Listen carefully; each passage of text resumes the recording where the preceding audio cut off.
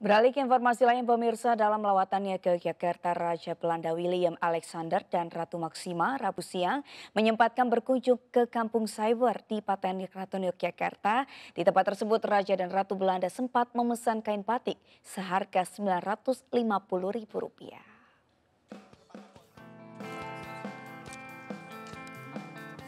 Di kampung cyber di Patehan Yogyakarta ini, Raja dan Ratu Belanda Willem Alexander beserta Ratu Maksima sempat berinteraksi dengan warga dan mengunjungi galeri seni.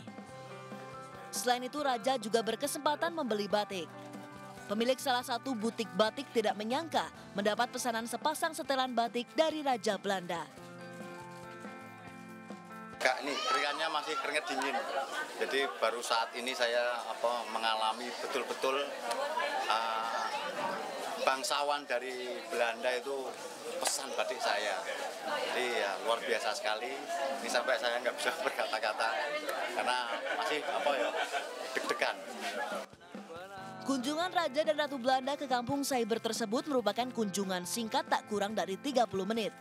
Selain menerima batik, Raja Belanda juga menerima cendera mata dari kampung cyber berupa sketsa Raja dan Ratu Belanda serta miniatur Tugu Pal Putih dari Yogyakarta.